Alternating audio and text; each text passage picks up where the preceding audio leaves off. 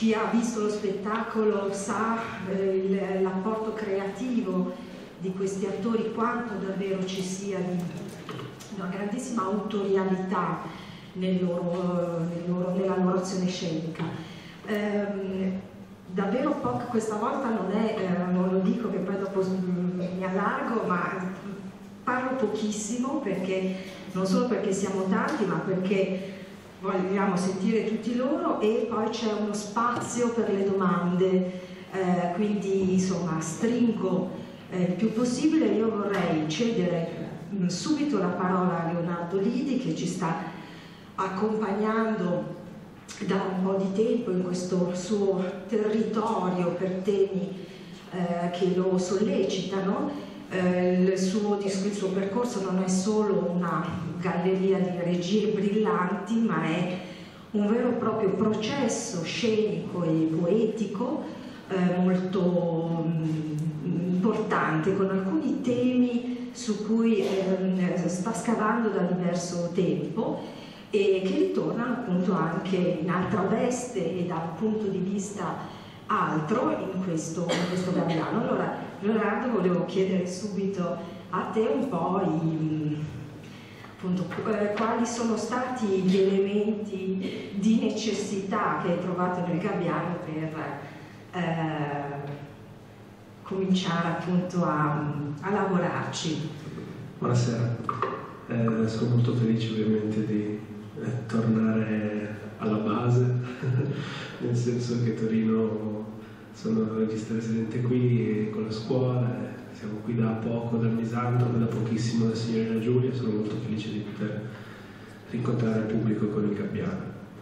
Um, ma allora, come dicevi, sicuramente eh, il desiderio è quello di stare insieme, di stare insieme a una compagnia di attori come hai giustamente detto tu, che codirigono lo spettacolo, eh, nel senso che in scena c'è uno scheletro eh, che va abitato con libertà e quindi io sono molto felice di aver in qualche modo raggiunto questa tranquillità d'animo eh, da regista per concedermi il lusso di, di lavorare con gli attori, con la loro fantasia e, e non eh, fai due passi a destra e di la battuta.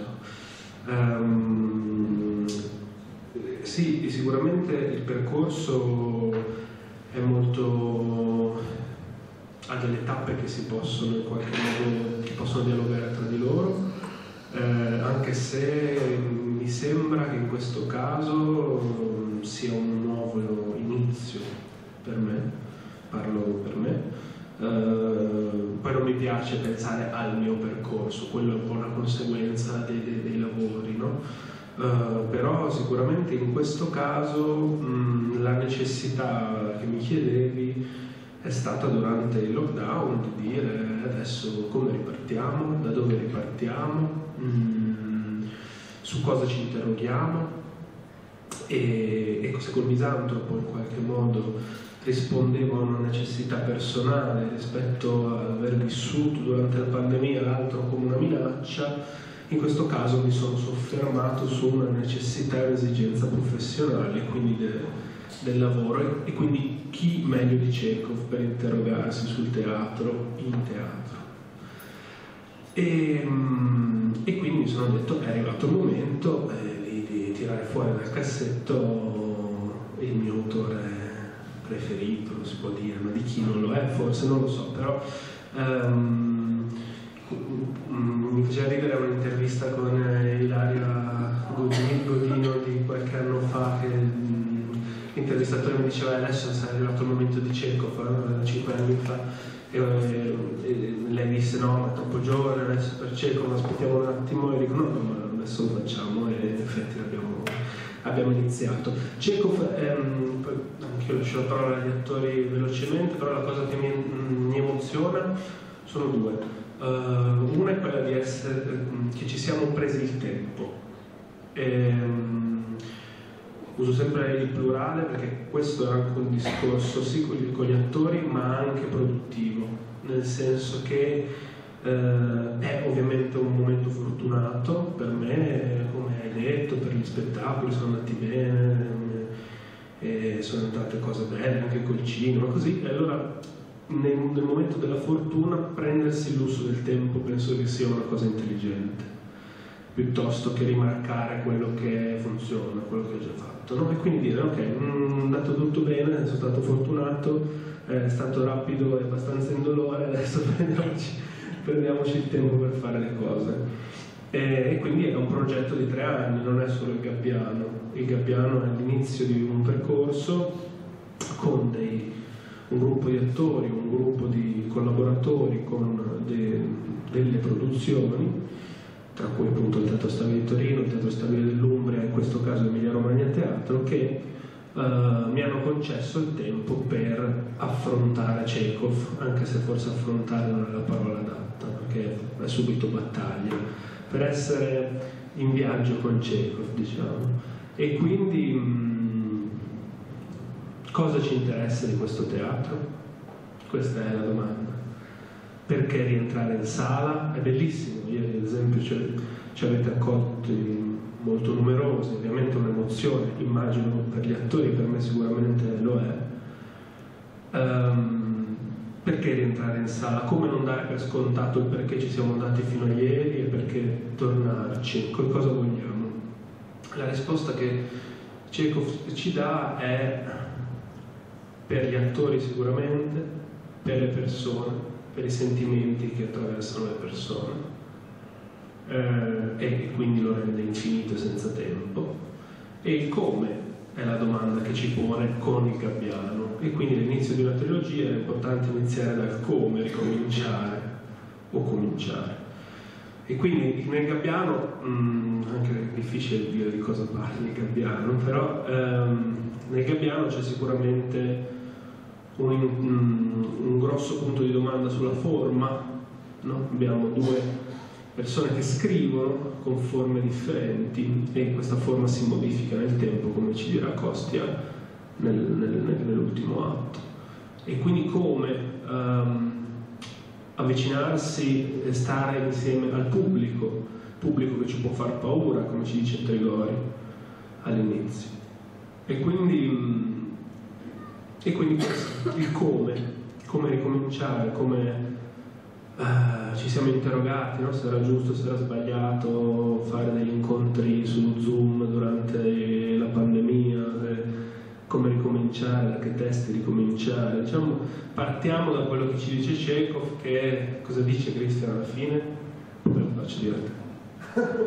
Liberamente, non è questione di forme. Il problema non sta nelle forme vecchie o nuove, ma è nella capacità di scrivere, indipendentemente da tutte le forme, nel saper esprimere liberamente quello che ti esce dall'anima. Eh, questa era Cristian La Rosa nei panni Treppio. E, ehm, e, quindi ecco, questo viaggio nell'interrogarsi sul, sul come, sulla forma, e, e, mentre tu ti interroghi sul come sulla forma, entra l'amore, entra la vita, entrano i sentimenti, eh, che ci scompigliano i capelli e parliamo della marmellata che non mangiamo mai, del miele, stupidaggini, delle cose che ci fanno battere il cuore e, e quindi si torna a mio avviso a un senso pratico che mette la persona al centro di qualunque tipo di pensiero intellettuale e mette l'amore che è una cosa che cercavamo in qualche modo di da mettere in campo anche con il misantropo, mette l'amore al centro di un processo creativo e intellettuale, questo penso che sia molto bello. Eh, e l'ha fatto Chekhov. Dico un'ultima cosa, di solito, chi ha visto i spettacoli lo sa, ci tengo a, a um, palesarmi, nel senso che uh, um, il punto di vista del regista che ha, fatto questa cosa, questa scenografia, qui um, mi sono proprio sentito in, nella tranquillità di non dover intervenire, nel senso di lasciare, di essere insieme agli attori, ad esempio non seguo mai le repliche, finora le ho viste tutte, tu, tutte, no? Tutte. Uh, perché è bello fare un viaggio insieme, insieme a Chekhov e ogni giorno questo invece è un discorso più personale, Chekhov mi insegna delle cose da regista e questo è bellissimo, cioè nel senso che mi dà delle nuove indicazioni non in scrittura ma in regia attraverso la scrittura. E questo è a parte che è affascinante veramente supera il tempo e dici ah sì ecco perché faccio, faccio teatro per, per, superare quel tempo lì. E questo. Il tempo sia anche uno dei macro temi del Gabbiano ma eh, nella, nello spettacolo anche ritmo e anche danza e anche eh, uno stare scenico molto particolare come quello di Massimiliano Speziani, ma ecco, partire da una, come dire, staccare una figura dal flusso è veramente difficile perché chi ha visto lo spettacolo ha visto questa tessitura meravigliosa con tanti livelli, quello testuale, quello sottotestuale, quello dell'intimità dato dal progetto sonoro, insomma è veramente, però dobbiamo farlo perché, e quindi partirei magari da, da Francesca, ehm, isolando appunto un po' la sua figura che è un po' un peccato, la mia domanda... Non l'ho capita. hai ragione, non l'hai capita perché l'ho lasciata così nel vago. Non l'ho fatta in realtà, hai tutte le ragioni. No, il, dicevo appunto, proviamo allora a lì a raccontare insomma, velocemente la, la, figura di Arcadina dal tuo punto di vista, eh, quali chiavi d'accesso, che cosa, eh, che cosa, ti ha sollecitato di più di questa figura? Che cosa... Beh, intanto comincerò a dire che è un ruolo magnifico, è un ruolo magnifico, divertente e, e non facile. Mm non facile perché questa Arcadina è, è attrice di professione, è un'attrice di successo e di fatto sta costantemente in scena, è in una situazione di costante esibizione di sé e quindi continuamente cerca un pubblico che la ascolti. Nello stesso tempo però eh, la forma di cui parlava Leonardo ehm, le richieste rispetto alla forma di cui parlava Leonardo andavano in una direzione eh, di sobrietà, se posso definirla così. Ci chiedeva un'estrema naturalezza, dunque trovare una misura fra l'attrice che si esibisce costantemente e la naturalezza di questa attrice che ormai col tempo, appunto con l'abitudine dell'esibizione continua, è diventata naturale, poi però ci sono sempre io che comunque devo recitare, quindi insomma c'erano diversi livelli sovrapposti che mi mettevano di fronte a, e mi mettono costantemente di fronte ad una difficoltà. Eh, dopodiché c'è, la parola di Chekhov che è, che è straordinaria, eh, ci sono questi personaggi, ieri sera un, una persona che era tra il pubblico mi diceva come ognuno di questi personaggi all'interno del testo al momento in cui diventa protagonista. E questo è veramente un valore altissimo della scrittura di Chekhov, perché li ama, li ama tutti i suoi personaggi, così come probabilmente amava gli attori perché per loro scriveva.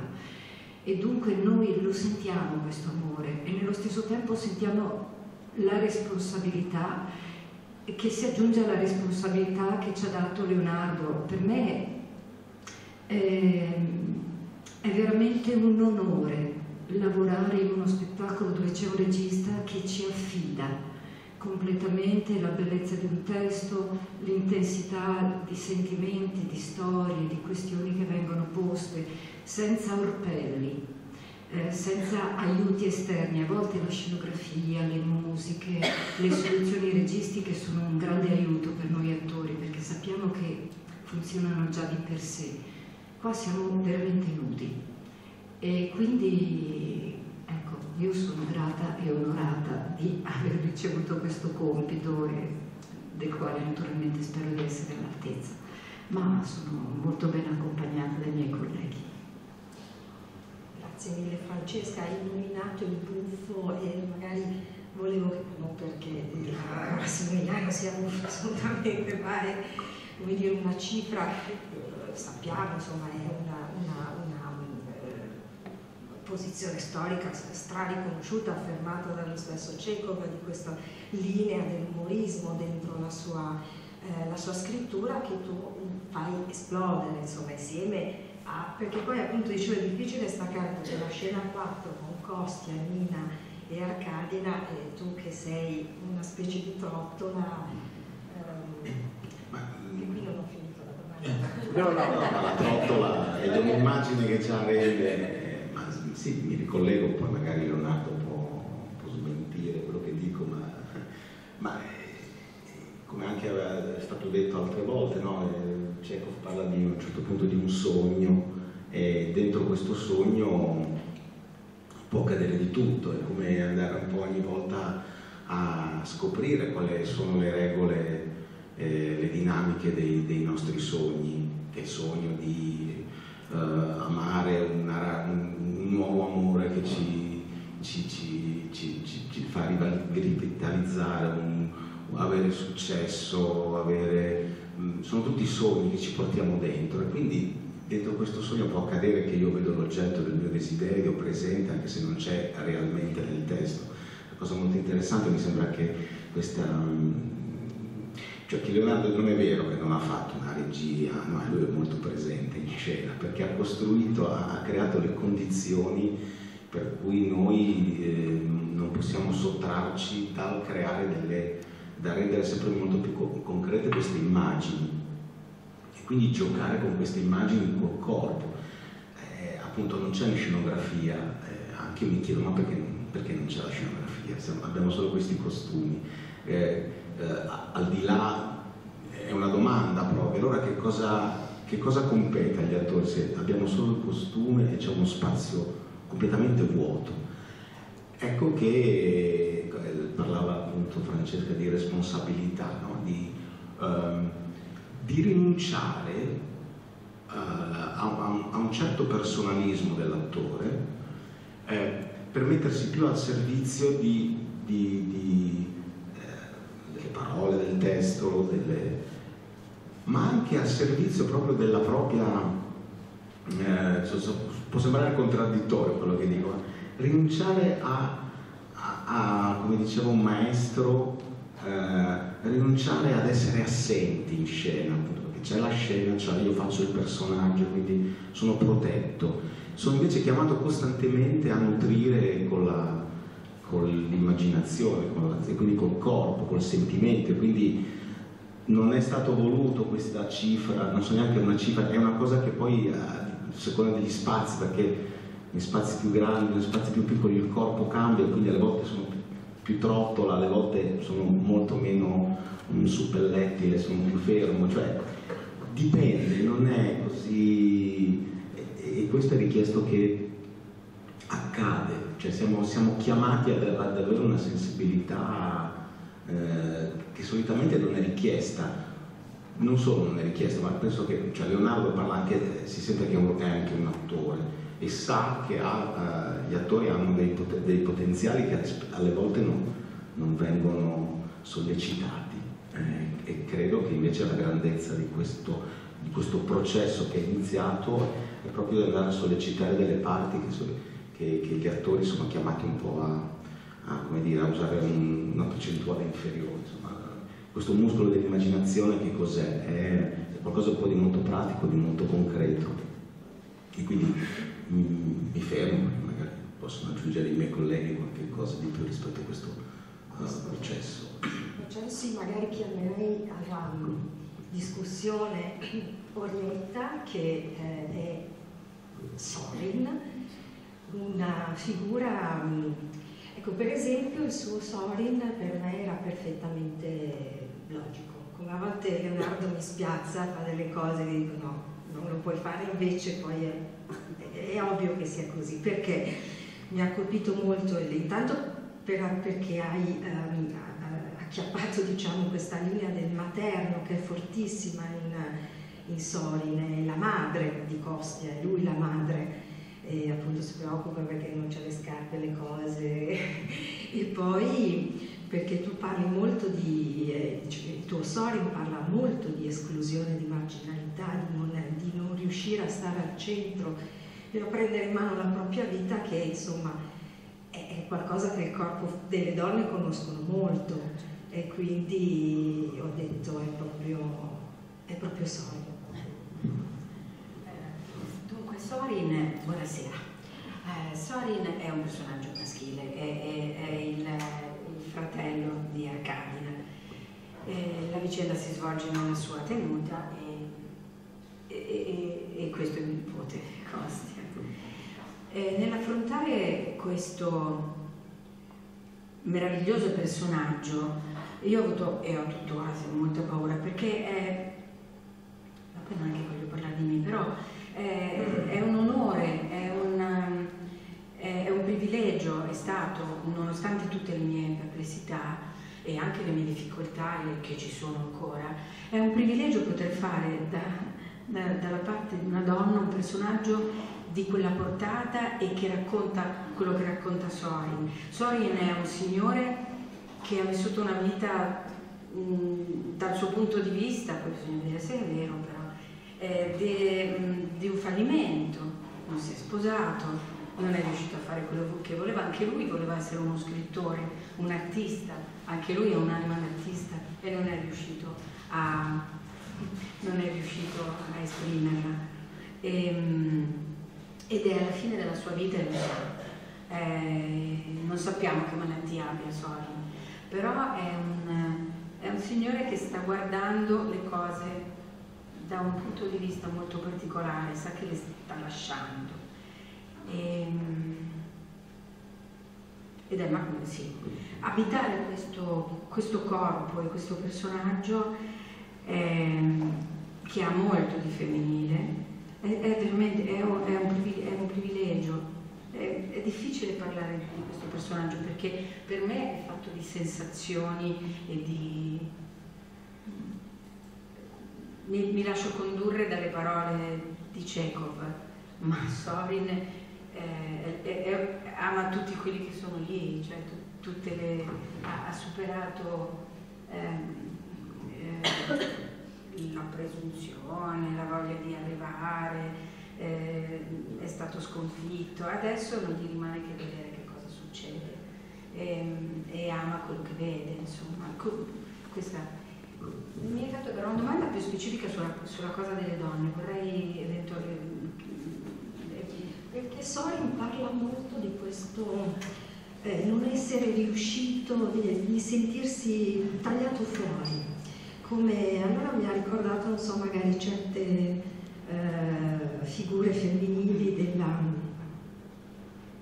autosegregazione o comunque della, eh, che, che, rimangono appunto escluse da una uh, possibilità di, di, di, um, di, prendere, sì, prendere la, la, la vita nelle loro mani e che è capitato, cioè nella storia delle donne questo è un fatto storico, tuttora. E, e quindi mi ha colpito molto questo riascoltare Sorin da questa prospettiva di una incarnazione di un corpo femminile che racconta anche questa storia antica, insomma, delle donne che oggi si spera sempre meno. Ecco. No, non ho pensato a questa cosa, però è uno spunto, è vero, è è molto interessante quello, quello, che dici. Sì, perché Sorin racconta una, anche una frustrazione, una, una sua, però è un uomo e quindi la sua eh, eventualmente sconfitta, ammesso che poi si manca sconfitti, ma è una, è una, cosa che invece avviene per una, per una persona che ha potuto, avrebbe potuto fare qualcosa e non ci è riuscito non sappiamo perché, non lo sappiamo, se per indolenza, per... Eh, non, non, non, si sa, lo, lo cogliamo adesso questo, da questo meraviglioso punto di vista suo. E, ehm, ecco. E, è bello per, per, per, me che sono una donna eh, eh, affrontare un signore anziano, è proprio interessante, è proprio bello. Un, un, un, è come accompagnarlo, è una stranissima, è veramente un'esperienza molto bella, molto bella, molto. All, ho fatto molta resistenza all'inizio perché mi immaginavo delle cose.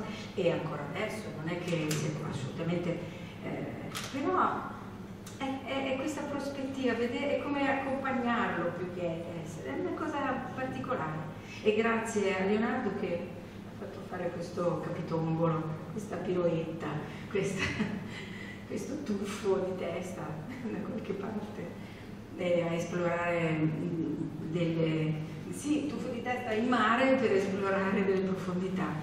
E, ehm, e spero, no niente, spero che gli uomini si sentano anche un po' rappresentati. anche, loro, anche nella parte un po' più, sì, un po' più delicata che, c'è in ognuno di noi, quindi immaginiamoci perché assolutamente, ma sì, per forza. Bene, bene, niente. Allora Arietta ha aperto l'enorme capitolo della, così, delle relazioni, dell'amore, della... magari proseguiamo, poi andiamo dietro eh, alla seconda fila, ovviamente non seconda fila, ci mancherebbe giusto di posizione adesso, eh, a Polina e poi anche a, a Graziano, Tino, eh, dunque Giordano. Giordano, scusami, eh, ogni tanto qualche, quando siete in troppi, mamma mia, qualche defaglianza, ma eh, mi scuserai. Polina, ecco, il, um, eh, la, la, danza, Polina e Dorn ballano continuamente, questa cosa è bellissima. E eh, il racconto di, di, questo amore passa appunto attraverso eh, il corpo, la danza, e, come sempre nelle cose di Leonardo ci sono tutti i livelli di movimento e anche questa ehm, suadenza della, del lavoro eh, del progetto sonoro. Non voglio chiamarlo amplificazione perché veramente vuol dire eh, ammazzare una, una, drammaturgia del suono, veramente. Ecco, allora magari eh, vogliamo riprendere un pochino il, il tema del personaggio, ma anche vale poi per tutti il rapporto con appunto questo strumento, che, che, che tipo di richieste vi fa questo microfono che vi accompagna che, e che per noi diventa un'esperienza molto intima sentiamo attaccati a voi, anche noi a ballare con voi. Sì. Scusa la domanda come sempre. No, no, è chiaro, chiaro, grazie. E sul personaggio, come mi è già capitato di dire, eh, Leonardo ha fatto un gran lavoro con me e, e gli sono grata, eh, mi ha portato ad un altro punto di vista e, quasi opposto da come l'avevo letto io sul copione. E quindi questa mm, moglie dell'amministratore della tenuta di Sorin eh, è una contadina che non ha visto molto del mondo e che è sempre stata lì, che non ama suo marito e che è l'amante invece del dottore, amico dell'Arcadina, che viene a, fare, a passare la villeggiatura con loro da tanti anni amante del dottore. E, e lui le insegna ancora, forse dopo tanti anni ogni estate le insegna a ballare perché non l'ha mai fatto, balla solo con lui, col marito non ha mai ballato, quindi c'è, è vero, cioè, a volte dobbiamo ballare il valzer, ma io devo non saper ballare il valzer per ri, ri, rimpararlo ogni volta con lui e lui attraverso il ballo mi, mi comunica con me, mi, mi, mi tranquillizza, mi, accompagna, mi cura. Eh, quindi mi, comunica il suo esserci comunque, anche se non può portarmi via con lui, che è il desiderio del mio personaggio. Ed è un lavoro sulla semplicità, su, un lavoro zen, di, di, di svuotamento, di, di, ogni sera di andare a svuotarsi e andare a buttarsi senza paracadute. di, di abbassamento anche del volume e qui vengo al lavoro col microfono. Io certe volte ho paura perché io seguendo questa linea del personaggio, quindi sono anche bassa di volume, timida, impaurita e, e lo dicevo con Leonardo, ma io ho sempre paura quando attacco, che attacco piano, che quelle signore in platea che non sentono tanto magari, non vogliono sentire un teatro forte, dicano voce, ho sempre paura di sentire qualcuno, signora o signore, che mi dice così. Poi lascio perdere perché mi affido a questi meravigliosi tecnici, bisogna nominarli, eh, Alessandro e tutti quanti che sono dei compagni di lavoro eccezionali, bravissimi. E, e quindi vado sul pianino e per me è una rivoluzione ogni sera mio attacco, le mie prime sillabe. Sta diventando freddo, umido. Eh? sto sbagliando la battuta, sta diventando umido, sono emozionata. Ho sbagliato la battuta. E, e questo, quindi affidarsi, affidarsi in tutti i sensi, affidarsi col corpo, al mio compagno attore, al mio collega, perché è lui che guida la danza affidarsi al, al, alla voce bassa, al microfono, ai tecnici, alla, al, alle parole del regista, affidarsi e svuotarsi. Giordano. Buonasera. sì.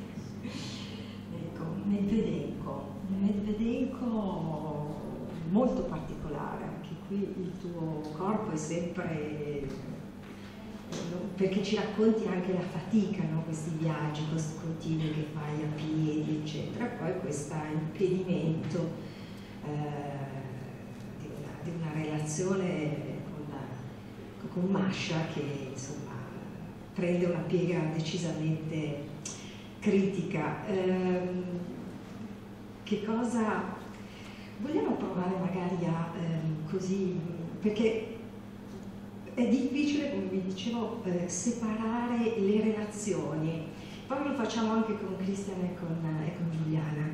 Se provate a, anzi passo il microfono a Elaria, che Masha, a ehm, comunicarci degli aspetti della vostra relazione scenica, come eh, da cosa comincereste per dire? Ma, eh Cominci tu? Cominciamo, Ma sì, no, la, la, possiamo raccontare... No, no, sto parlando io. Ah, vai. Questa è la nostra relazione scenica. Prego. Io? Vabbè. Ehm, beh, io racconto dal mio punto di vista. No, dal mio. Dal mio punto di vista questa è una relazione tra due persone che comunque in qualche modo si vogliono comunque bene. E, ehm, certo, lui la corteggia, mh, non si sa bene perché la corteggi, se veramente è così tanto innamorato, se ha un interesse anche economico, perché comunque Masha è la figlia del, dell'amministratore della tenuta. E, però non sono domande che Masha si pone, nel senso che lei è totalmente in adorazione di, di Costia Abbiamo affrontato c'è un aspetto molto importante di questa regia, che viene anche dal testo, ma su cui Leonardo ha, ha, ha insistito. Eh, in questo spettacolo ci sono gli attori e gli spettatori. Eh, in qualche modo Polina, come marito, io, rappresentiamo in qualche modo il pubblico di coloro che vengono ad esibirsi, che vogliono esibirsi, non soltanto perché assistiamo proprio allo spettacolo di Nina, ma anche perché per quanto mi riguarda io mi sono immaginata Masha che fin da piccola sta lì e guarda Costia che vuole fare lo scrittore, magari è cresciuta anche insieme a Nina, fondamentalmente sono tre coetanei, c'è poca differenza di età, e lei non ha mai avuto il coraggio di esternare questa sua, questa sua adorazione per le loro cose, per, le, per, le, per, la sua attività, non ha mai neanche avuto il coraggio di dire quanto ne si è innamorata. Credo che lei sia la spettatrice numero uno di, di Costia. Quando arriva Medvedenko, per tornare alla relazione, insomma poi all'inizio dello spettacolo, lei è eh, in questo struggimento per questo amore che lei stessa non sa neanche confessare e che appunto però è un amore ma è anche un'adorazione, una mitizzazione probabilmente.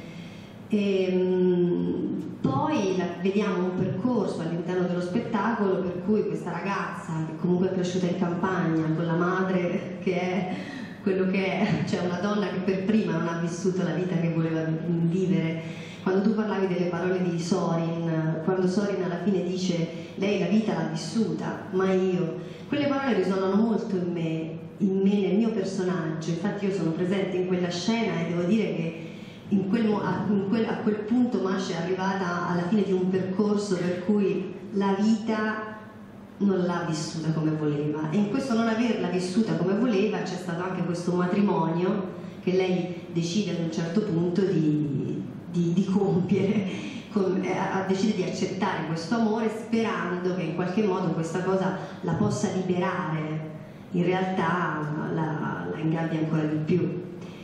Non, non, abbiamo mai lavorato su una, una, una, relazione che sia di repulsione o di respingimento perché ci sembrava comunque meno interessante. Se dico delle eh, ci sembrava meno interessante, eh, di sicuro non ne è innamorata però c'è una battuta in cui lei dice il suo amore mi commuove ma io non posso ricambiarlo perché appunto la mia gabbia, io sono in una gabbia e in questa gabbia c'è tutt'altro. Sì, all'inizio poi si accorge di essere innamorata, infatti finisce con lei che prepara la cena, la menta, quello che deve fare, quindi poi finisce bene per vedere. No, sì, io concordo con, con il punto di vista suo perché in certo qual modo è opposto è quello del, del, maestro. La cosa più interessante, parlavamo anche con Massimiliano prima, sono le distanze fisiche che servono a raggiungere l'oggetto dell'amore Chekhov ci sono in tutte le sue commedie, c'è in Ziopania, chi va a casa di chi, Ivano, chi va a casa di chi per trovare chi e questi personaggi poi rimangono e non se ne vogliono più andare. Infatti il maestro fa 12 km al giorno, ma poi Mascia che non vuole più andarsene, dice torniamo a casa. E gli dice no, perché l'oggetto è sempre altrove, spesso capita in cieco, e in questo spettacolo tutti cercano questo altrove, perché camminiamo tutti. Il maestro poi lo dice, poi in realtà io faccio anche molto meno per grazia di Dio di Massimiliano, che praticamente vola, all'inizio dovevo camminare molto di più, mi ha graziato Leonardo perché ci capiamo, stai seduto, poi tanto lo dici, cammini, e quindi è andata, è andata così. Però, eh, all'inizio iniziava con me che tutto il tempo. Si era ipotizzato addirittura per tutto lo spettacolo poi per non torturare gli altri anche con il rumore delle scarpe abbiamo... però eh, questa distanza fisica secondo me è importante e, è un tema. Di Chekhov che nel Gabbiano è, è molto sviluppato e lui sì va lì per cercare Masha.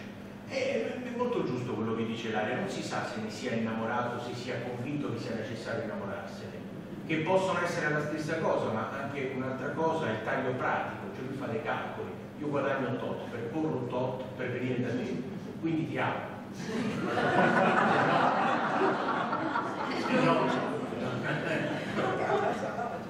quindi a me piace molto questo automatismo di di questo personaggio quello dei microfoni è importantissimo perché quella è una tortura quella della voce che infliggono agli allievi attori nelle accademie. Dovete farvi sentire questa voce fallica che deve arrivare e poi una volta al bonci uno si alza e fa non sentiamo niente! E quella gente che protesta. No, no, un altro, altro.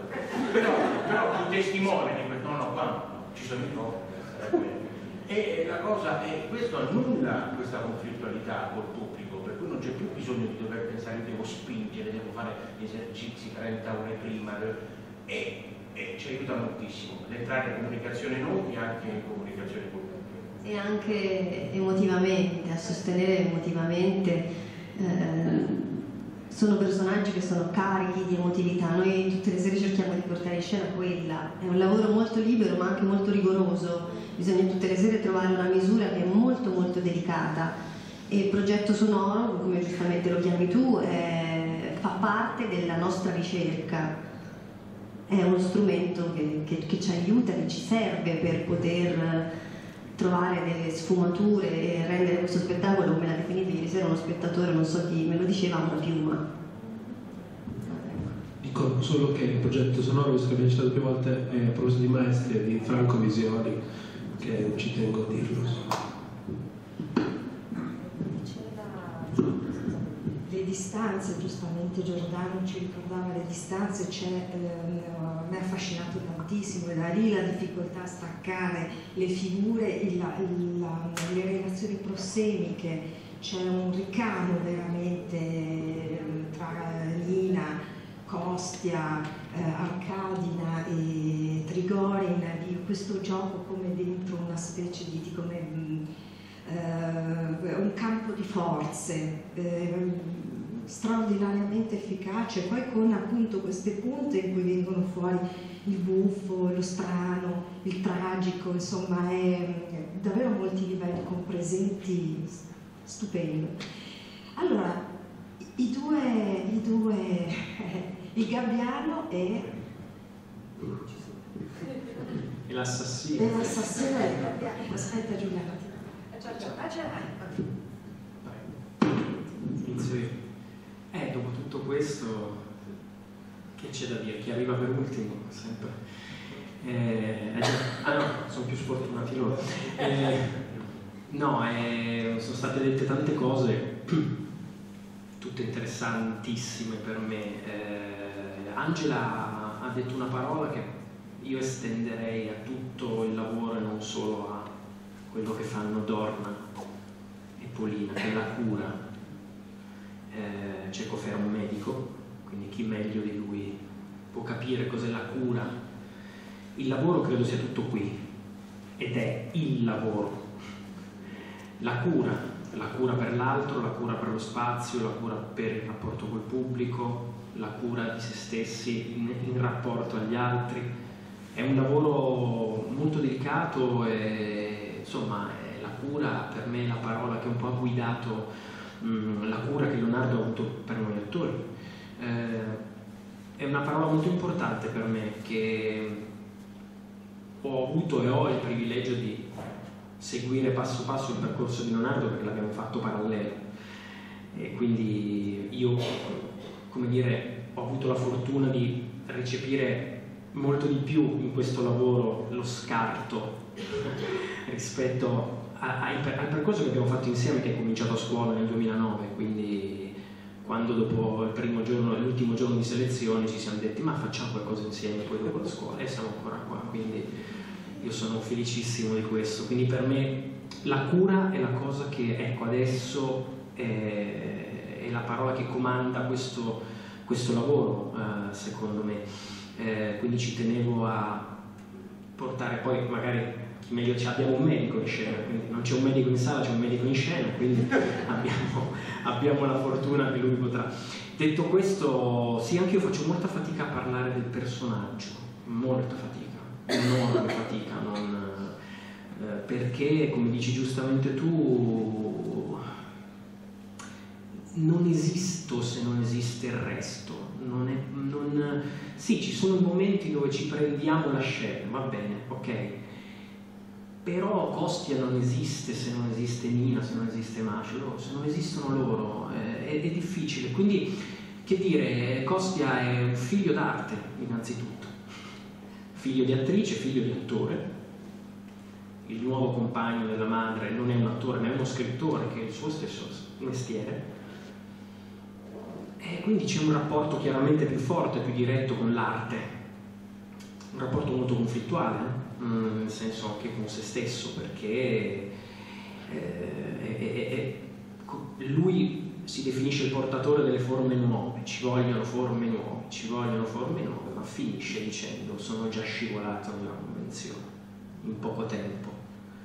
È un viaggio, è un viaggio anche in autoconsapevolezza artistica, è molto interessante perché il Gabbiano è una riflessione anche sulle forme teatrali, sulle forme drammaturgiche, sulle forme d'arte, oltre che un, un crogiuolo di sentimenti, di amore, di incontri, è anche quello che chiaramente portano di più costi a Trigorin, però eh, questa cosa ogni tanto viene interrotta dall'amore ed è interessante perché chiaramente l'amore verso Nina, eh, che però lui porta a modo suo nella sua arte, no? tant'è vero che il simbolo, il gabbiano, Nina, c'è questa sovrapposizione tra l'amore, il simbolismo, il, il fatto è che la, la, bellezza e anche la difficoltà del, delle parole, soprattutto di questo testo di Chekhov, è che non è o una cosa o l'altra, è tutto insieme.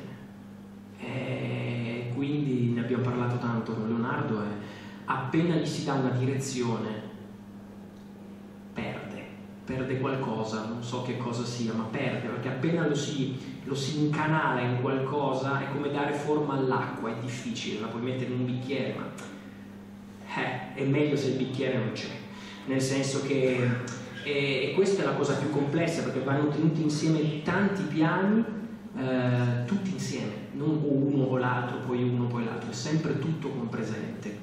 Per quello che faccio anche molta fatica a dare una definizione al mio personaggio, non gliela voglio neanche dare, non, non l'ho ancora forse trovata, non, non so se la troverò, ma questo è il lavoro e la cura anche del personaggio eh, questo è, è, è, molto importante. Detto questo, poi di questo ti si deve dimenticare, si inizia, eh, perché sei sempre vestita di nero e da lì si va. Senza... È quello, no? il lavoro di svuotamento di cui parlava Angela, è quello. Ok, ci sono tutte queste cose, poi però si apre il sipario, ok, ora si va, basta pensare, si sta, si cerca di stare in quello che c'è. Eh, questo direi di, di costi, non so. Sì, eh, buonasera a tutti. Eh, sicuramente la cosa che dice Christian di non riuscire a definire i personaggi in modo specifico è vero e, e succede come succede spesso nei testi scritti bene, diciamo così, che ogni sera c'è qualcosa di nuovo che colpisce l'orecchio da, da, attori prima ancora che per gli spettatori che chiaramente lo vedono per la prima volta. E io per esempio qualche giorno fa mi sono interrogata su una cosa che, sulla quale non avevo mai riflettuto. Nina è una ragazza che, lo dice varie volte nel corso del testo, che sogna di fare l'attrice. Il suo più grande sogno è di fare l'attrice, di lasciare questa campagna eh, e diventare un'attrice famosa. Eppure una delle prime battute che dice a Costia, prima di recitare il monologo, è si sono agitata, ma non perché c'è tua madre che è una grande attrice, che sarebbe la cosa più logica, io, una giovane attrice davanti a una grandissima attrice famosa e tutto quanto, dovrei aver paura di quello. E invece dico, sono agitata perché c'è Trigorin che è un grande scrittore. E questa è una cosa sulla quale non avevo mai ragionato all'inizio, cioè non avevo ragionato nei, nei primi tempi e continuo a non ragionarci veramente, però mi fa pensare appunto alle, ai tanti livelli che ci sono all'interno della storia dei personaggi e a un certo punto io dirò a Trigorin per la felicità di essere scrittrice o artista io sarei disposta a tutto e quindi è chiaro che c'è tanto, tanto di umano, c'è tanto, eh, tanto del sogno appunto come diceva Max prima, mh, ci sono tanti sogni all'interno di questi personaggi, c'è il sogno di un amore, c'è il sogno di una realizzazione professionale, c'è il sogno di un riconoscimento, c'è il sogno di far parte probabilmente di, appunto si ritrovano tutti in questa tenuta per la voglia di stare insieme in un modo o nell'altro. Eh, io cerco di scappare dalla casa dove mio padre con la sua nuova moglie non mi vogliono far uscire, quindi l'altrove, andare da un'altra parte e non rimanere dove si è. E questo crea la complessità di questi personaggi, la complessità delle relazioni, che porta poi a, a tutto quello che si vede, per chi non l'ha visto, diciamo troppo, ma abbastanza famosa la vicenda e, e quindi niente, l'unica cosa che posso dire è che ogni sera è una ricerca è nell'andare un po' più a fondo in tutti queste, questi sentimenti umani, queste, queste, ambizioni che non sono necessariamente nel, nel, nel senso negativo del termine, ma nel, nella realizzazione di un sogno, nel vedere i propri sogni infranti e come si reagisce a, a un sogno infranto, perché Costia reagira in un modo, Nina reagisce in un modo opposto, vivono per un periodo chiaramente diciamo insieme, crescono insieme, poi a un certo punto le loro strade si dividono, vivono in modi diversi un fallimento, chi dal punto di vista più professionale, lei da un punto di vista anche più umano, e reagiscono a, questi fallimenti in modo molto diverso, così come nella natura umana reagire eh, a un fallimento o a un successo in modo diverso. E quindi il viaggio è proprio questo, tentare di scoprire ogni giorno qualcosa in più e cercare di attraversarlo con più, dire, semplicità possibile. Ecco. Maurizio, ehm, ma tu hai la sensazione che Dorma sia un po' dentro e fuori, abbia un piede dentro e un piede fuori o è un'impressione un po' così da, da lettori? Perché lui si, si confronta, insomma, prende posizioni rispetto ad Arcadina, è l'unico che dice c'è del buono in questo Aquile, Leoni, eccetera. Tra l'altro come lo dobbiamo? Vabbè, questa è una cosa che poi ci diciamo è bello, poi vabbè, poi ci, ci, ci torniamo dopo. E, ehm, è sempre un po' sul confine, è quello che si incarica sempre di raccogliere un po' le, le sorti di, queste, di tutto questo Anima. amore, Anima. questa gente nervosa. Sì. Buonasera. Eh, c'è una straordinaria polifonia di voci dentro Chekhov, c'è una straordinaria presenza, con presenza c'è uno straordinario tessuto di, di voci che, che, concorrono a creare quella, quella, magia e quel sogno, è una parola che è già stata, tra l'altro una delle mie frasi preferite, è, faccio un inciso, la dice Trepliev, Kostia, all'inizio dice la vita non va rappresentata com'è né come dovrebbe essere a teatro, la vita non va rappresentata com'è né come dovrebbe essere, ma come la vediamo nei sogni. È una frase che mi affascina tantissimo e in questo, eh, insomma, questo mh, mm, sì, conferma un po' quello che dicevi tu, no? cioè il mio personaggio forse è l'unico che crede veramente nel talento di Costia. Eh, oltre a una straordinaria polifonia di voci, c'è anche una straordinaria polifonia di caratteri dentro ogni singolo personaggio. E in questo Leo ci ha veramente sorpreso, perché, almeno per, parlo per me, perché tutte le volte che prendevamo una direzione, eh, lui diceva come, con, con, il suo modo che è, fantastico, che dice sì, sì, sì, lui dice sempre sì all'inizio e poi ti dice sì, però anche, una, anche, anche, così sì va bene, però anche così, anche così, forse anche così. Dorme è, lo dice Leonardo, è, è, è colui che osserva, che guarda gli altri io credo che questa esperienza, perché questo spettacolo è un'esperienza e non è eh, consueto per noi, cioè non è detto che, che noi attori facciamo veramente un'esperienza quando lavoriamo. Eh, dentro questo spettacolo c'è molto, io sento molto e, sento la responsabilità in Dorn, eh, la dimensione dell'ascolto l'ascolto profondo, l'ascolto quello vero. Ora, spesso questi person- noi personaggi, un po' tutti, sembriamo non, ascolta- non ascoltarci veramente, dico i personaggi, eh? cioè sembrano ognuno andare, però poi come per magia accade che si capiscono, alla fine riescono a capirsi e questo è dovuto al, alla dimensione dell'amore che, che, è già stata citata e che Chekhov eh, incarna in una maniera straordinaria, è un, un incanto, insomma, cioè sapere a ogni momento, come ha detto Francesca, che questi personaggi sono amati da Chekhov, sono, non so se ho risposto alla tua domanda. Ma... Tino, ecco, prima ti dicevo che eh, il personaggio tu mi ha colpito tantissimo, no? è così eh, divergente rispetto a quello che ci eh, che la, insomma, un po' la, la, la, storia scenica del testo ci ha consegnato, no? un personaggio sempre molto muscolare, invece non è affatto così, e anche forse una relazione Dorn ehm, eh, grazie. Eh, eh, a volte c'è qualche depaglianza sui nomi russi, eh, c'è perché anche lui è una, uh, una, un po' a parte. Sì, buonasera Sì, eh, Sunrise sembra spettatore fra gli spettatori, fra gli spettatori, tra i personaggi spettatori, in effetti è sempre molto rievocativo eh, rispetto a un passato, appunto, sembra proprio appartenere a qualcosa che, eh, che è stato, come se tutto il resto del, della vicenda e del, degli scambi gli appartenesse.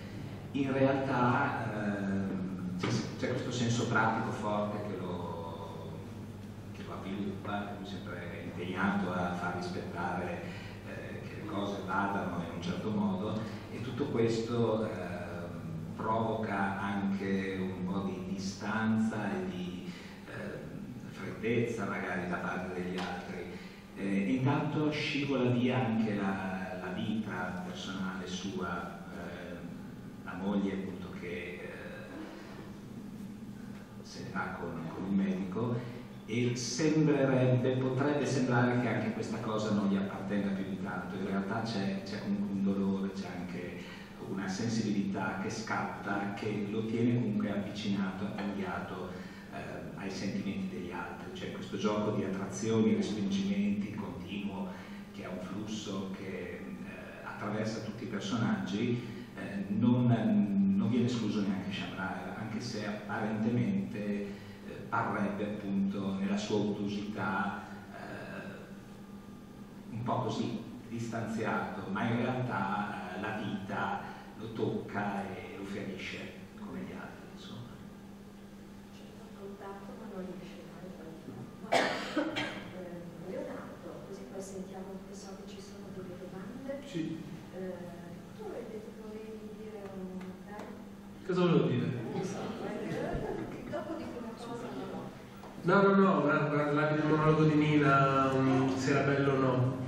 È la domanda per me è una domanda molto interessante come la sul sonetto di Oronte, ne avevamo anche parlato. Eh, nel senso che Chekhov è in una dimensione dove c'è un grosso movimento simbolista nel suo teatro che sta andando per la maggiore e lui lo mette in scena e non lo deride. Secondo me è una cosa, mi permetto di dire, un errore, anche se non si dovrebbe mai fare, eh, spesso è quello di deridere, invece Chekhov non deride mai nessuno. Chekhov eh, ci mette dei, dei, dati in scena e, e, ci accompagna in questo, non, non, dice mai. Poi prende una decisione e noi lo scopriamo con Giovanni, Tre sorelle e Giardino dei Ciliegi, che sono i testi successivi che Chekhov scrive, e la decisione è quella che a differenza di Platonov eh, la dimensione simbolista lascia il passo alla storia anche se in tre sorelle i simboli sono molto, molto presenti, però ehm, io credo che l'andata via di Costia a fine Gabbiano sia una scelta artistica e, e, questo, e questo è, è emozionante. Benissimo, allora abbiamo il tempo per davvero un paio di domande. Chi voleva? Ernesto. Allora, buonasera, eh, magari mi tolgo la si sente bene. Forse il mio è un problema di forma, però io l'avevo pensato invece come una questione di coerenza di, di contenuti. Ah, premetto che io ho visto lo spettacolo di ieri sera lo spettacolo mi è piaciuto moltissimo, ho trovato tutti bravissimi, ho trovato straordinario lo spettacolo. Una cosa appunto mi ha lasciato eh, perplesso nel senso che probabilmente non l'ho capita ed è la chiara volontà che c'è alla fine di isolare il dialogo finale fra eh, Costantin e, e Nina. Durante tutto lo spettacolo, è verissimo come si è già detto, eh, tutti i personaggi sono contemporaneamente eh, protagonisti e, e pubblico. Qui è proprio palesato in maniera chiarissima, c'è la banca dove si siedono e si alzano e vengono al proscenio, diciamo, quando è il loro turno. Quindi questa è una scelta evidentissima. Alla fine questa scelta è interrotta. C'è una frattura evidentissima. La frattura è anche... Ah, poi, eh, diciamo, a rinforzare questa frattura è il fatto che in realtà, appunto, la commedia, il dramma, come chiamarlo per me, è una cosa... Giacov scrive commedia. Scrive commedia, è già complicato. E non finisce con la morte di, di Costantin. Costantin, ma finisce con, questa, eh, con questo dialogo eh, di due personaggi che eh, dicono bisognerà trovare il modo di dirlo a Irina. E, e però questo non viene detto in scena, è registrato e si ascolta. Quindi c'è una chiara scelta di una frattura rispetto a tutta l'impostazione dello spettacolo, anche una chiara scelta nel senso che lo spettacolo ha un tono, come dire, mite, diciamo di sofferenza mite eh, e non disdegna, diciamo, ehm, di sfociare a volte dell'umorismo, una cosa alla quale, come sappiamo tutti, Chekhov teneva moltissimo, che pensava che i suoi fossero anche, le sue commedie fossero anche buffe. Per cui si crea anche una frattura tra il finale tragico e invece questo eh, tono che è il tono complessivo della, della messa in scena. Quindi mi pare che ci sia un'intenzione molto precisa. Questa è una cosa che ho capito fino a un certo punto e all'interno di questo finale ci sono altre cose che mi sono eh, che mi hanno lasciato che evidentemente non ho capito. Per esempio eh, Constantin quando fa la sua ultima dichiarazione d'amore a, a Nina in realtà sta leggendo sta leggendo qualche cosa. Non c'è il benché minimo pathos in queste parole, è una lettura neutrale e neutra, per cui, e poi alla fine non c'è il colpo di pistola. Il colpo di pistola c'era stato quando c'era stato il tentativo di suicidio, invece alla fine quando si ammazza veramente il colpo di pistola non c'è. Il colpo di pistola non c'è, cosa ti rimane in piedi e eh, si avvicina allo zio che nel frattempo si è rialzato, che sembrava aver tirato l'ultimo respiro, e sembrano ritrovarsi in qualche modo. Ecco, è chiaro insomma che questo finale significa qualche cosa, però devo dire la verità, io eh, ci ho pensato, ma insomma, forse ci devo pensare un po' di più. Grazie. Sì, non, non, grazie, è bellissimo ascoltare, eh, molto.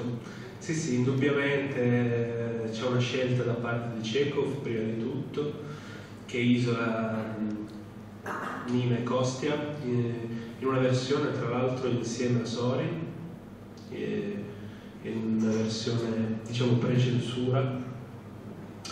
Eh, e poi questa cosa viene cambiata nella nuova stesura ehm, e quindi io ho deciso poi di, di tenere Sorry addormentato, che anche questo ci aveva già dato un piccolo antipasto del suo dormire, questa volta temo sia un dormire più profondo.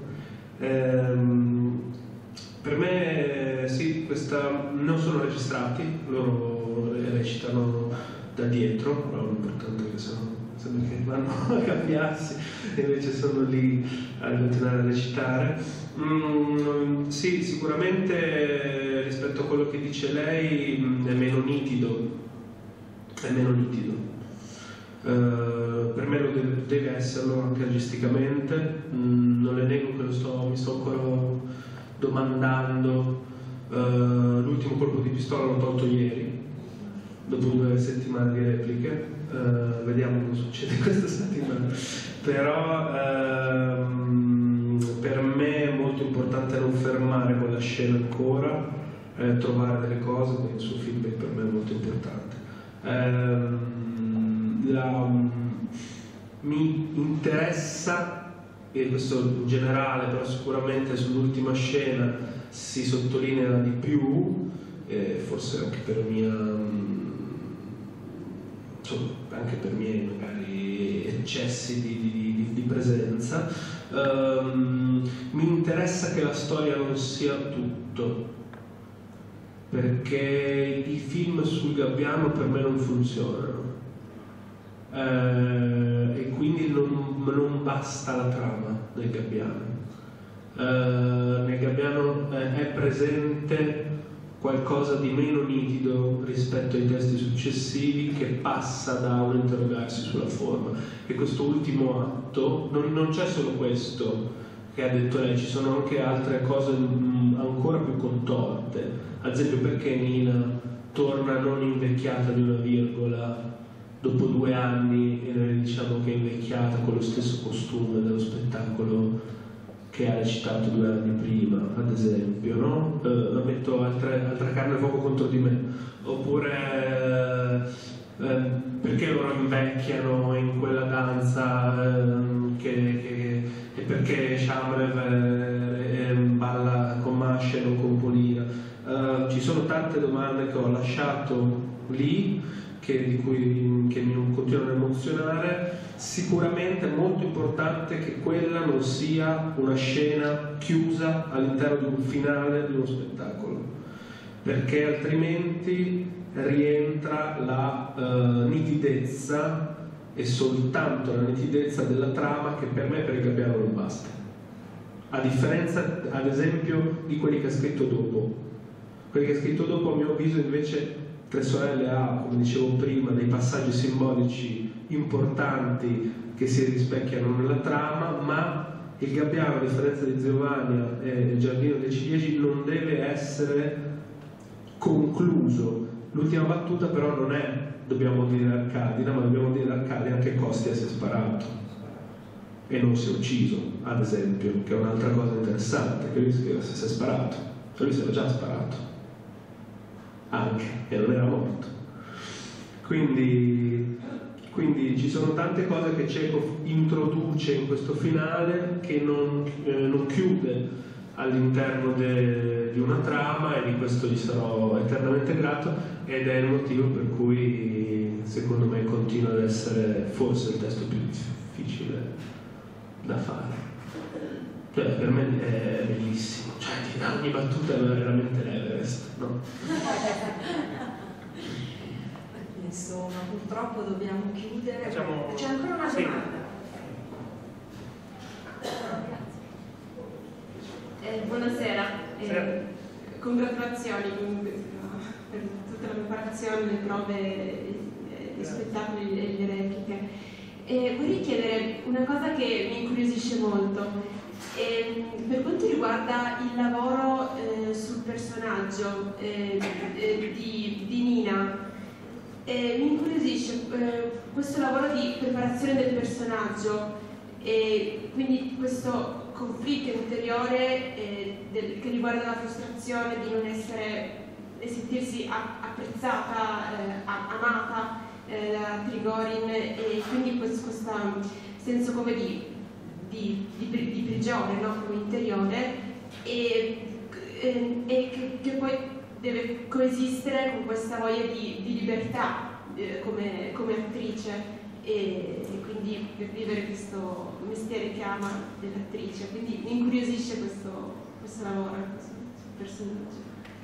È una domanda molto complessa, però allora, eh, rispetto al non sentirsi amata da Trigorin, mh, mm, io non la vivo questa cosa, nel senso che Trigorin a un certo io e Trigorin scappiamo insieme, poi ci sarà un altro epilogo, però io e Trigorin scappiamo insieme e nel, nel rapporto che io ho con lui mh, mm, è un rapporto anche di, appunto, quando parlavamo della prossemica, dell'avvicinarsi e del respingersi, è una cosa che c'è molto, quindi è, mm, è, anche come fosse un gioco tra di noi, non, non avverto all'interno dei primi tre atti questa repulsione che lui ha nei miei confronti.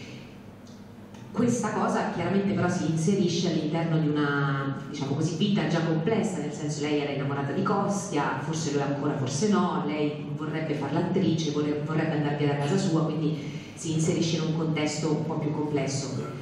Il quarto atto è un'altra cosa perché mh, nel quarto atto lei torna sconfitta in qualche modo o comunque se non sconfitta che ha, ha attraversato ehm, dei dire traumi, forse brutta come parola, però sì, eh, appunto scappa con lui, ha questo bambino, il bambino muore, lui la lascia, quindi chiaramente mh, però non almeno su, sul lavoro che ho fatto io non, non, è tanto nella direzione di sentirsi apprezzati o non sentirsi apprezzati da lui quanto da tutti quanti anche nel, nel monologo di, di, Costi appunto quello che citavamo prima.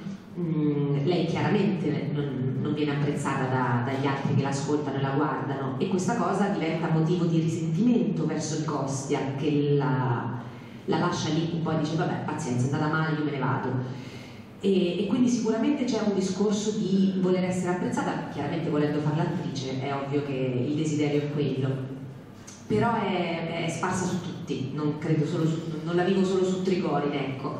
Di là c'è un'altra poi questione che si apre appunto più avanti, però non so se ho risposto più o meno.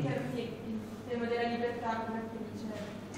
Ah, il tema della libertà come attrice, ecco. Ehm, sì, quello che poi vale, vale, un po' per tutti, è, ehm, è un discorso eh, complesso, molto bello. Un, quello che ci chiede Leonardo è di lasciare che le cose, di, non, non, tenere a, a, bada nulla di quello che ci succede dentro, che ci succede in scena, sempre in relazione agli altri e mai da soli su noi stessi.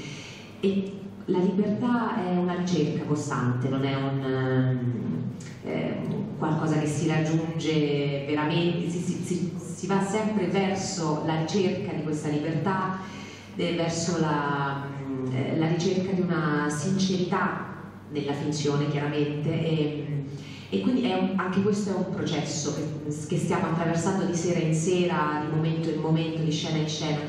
Ed è, in realtà è la ricerca di questa libertà che può portare a sentirsi di volta in volta rifiutati, ehm, apprezzati, non apprezzati, eh, amati o non amati, solo attraverso questa, questo tentativo di essere totalmente presenti al momento, totalmente liberi in quello che succede, si possono attraversare queste, queste, questi altri sentimenti. Come un riscatto? Eh, come un riscatto?